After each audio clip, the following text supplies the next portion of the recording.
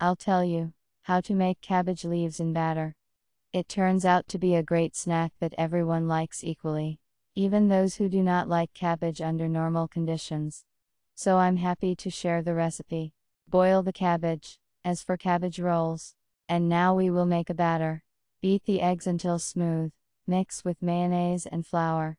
Now we dip each boiled piece of cabbage into the batter, and then send it to the frying pan to fry like ordinary cutlets. Bon appetit!